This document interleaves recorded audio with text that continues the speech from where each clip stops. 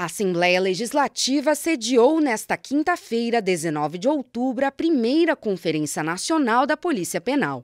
O evento teve como objetivo debater o desenvolvimento de uma regulamentação específica para a categoria e foi realizado com apoio do vice-presidente da Alesc, deputado Maurício Scodilac. Santa Catarina é uma referência a nível de Brasil em polícia penal.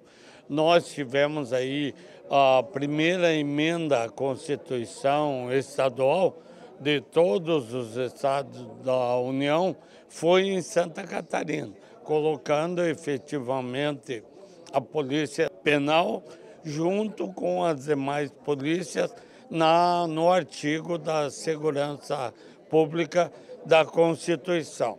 A Alesc foi a primeira a receber a conferência que vai ser realizada em todas as regiões do país. A ideia é que a regulamentação e a uniformização do exercício profissional sejam os pilares do debate.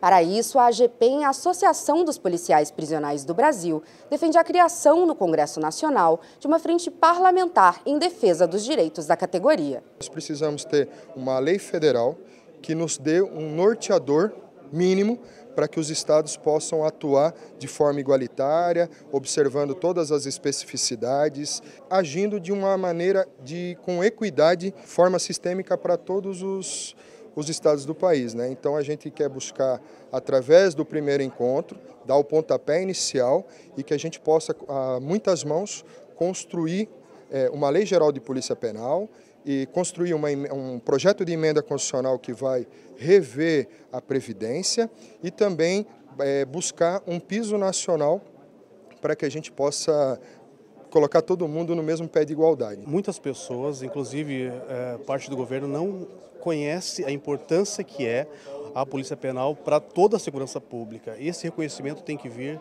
inclusive, com melhores equipamentos, é, quantitativo de funcionários que seja o ideal, salário e aposentadoria inclusive.